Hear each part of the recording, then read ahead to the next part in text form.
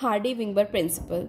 This principle states that gene frequency or allele frequency of a population is always fixed and they don't change even generation after generation. How? See, allele.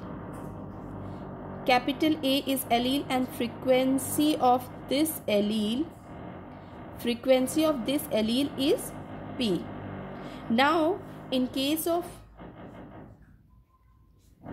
diploid how you will write capital A capital A is equal to frequency of this diploid allele is capital P capital P now how you will write this you can write this in form of P square similarly small a allele का frequency क्या होता है small q so how you will write this? Capital sorry small a small a is equal to small q small q.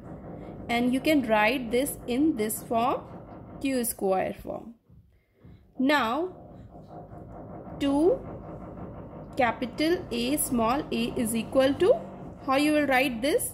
In the form of frequency you can write this 2 in place of capital A you can write the frequency of capital A is P now you can write in place of small a, frequency of small a is small q. Now in next stage, we know that mathematical equation of a plus b ka whole square. So how we will do? In place of capital A, we can write capital P. In place of small a, we can write small q. Then we can find square of this. It is equal to 1. Now expand it. P square, we know the formula of A plus B whole square.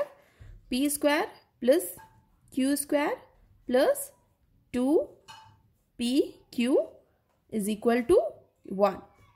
This is the equation of Hardy-Weinberg principle which state that sum total of all allele and gene of a population that is your gene pool remain equal to 1 it is equal to 1 is maintained constant generation after generation.